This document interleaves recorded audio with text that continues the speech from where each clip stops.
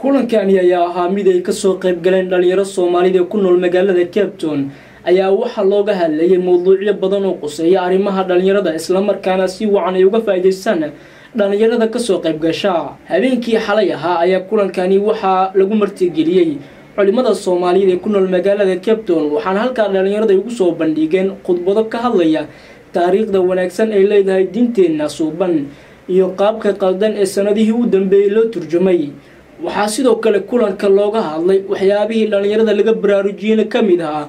Guurka oo aada ugu yar dhalinyarada soomaalida ay ku nool wadanka south africa ayadoo culimadan ay ka sheekeeyeen faa-iidooyinka dhalinyarada uu leeyahay guurka sheekh xuseen shibis oo ka mid ahaa culimada soomaalida ee ku nool magaalada capton islamarkaana habeenkii xalay ahaa dhalinyarada halkaa uga soo bandhigay mowduuc ka sheekeynaya guurka ayaa waxa uu la hadlay warbaahinta qaranka isagoona u sharaxay faa-iidooyinka dhalinyarada uu leeyahay kulamada noocan iyo oo kale ah.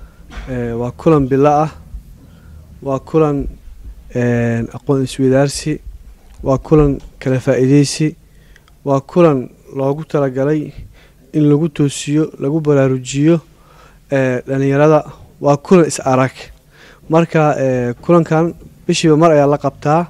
Waxaa soo abaabulaa qaar ka mid ah dhalinyarada degan magaalada cape town gaar ahaan xaafadda belville marka waxay ugu talagaleen kor u qaadista wacyiga dhalinyarada.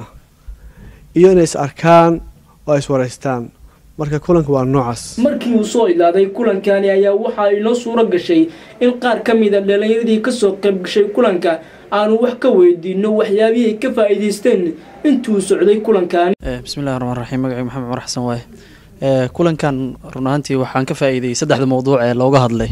Intaba waan ka faa-iidey khaasatan waxaan ka faa-iidey mawduuca oo sheekh sheekh al ustaad xuseen shibis oo soo jeediya ee azawaaj oo kaleeto maadaama ragga dhalinyarada u badan yihiin. Mawduuca oo xasaasiga ah ee dhalinyarada si fiican dabcanaan. Magacaygu waa liibaan cali duqow waxaan ka faa-iiday caawa kulankan bilaha ah.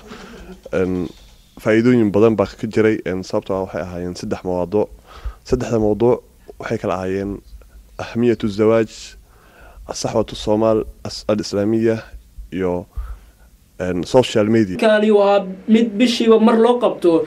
Dhalinyarada soomaalida ay ku nool magaalada capton ee wadanka south africa islamarkaana loogu soo bandhigo waxyaabo badan oo ay ka faa-iidaystaan dhalinyarada soomaalida ayadoo ay qayb ka tahay in dhalinyarada laga dhiso xagga maskaxda si ay ula jaan qaadaan bulshooyinka caalamka. Cabdulaahi maxamuud amiin cabdilaahi qorshe warbaahinta qaranka soomaaliya magaalada capton wadanka south africa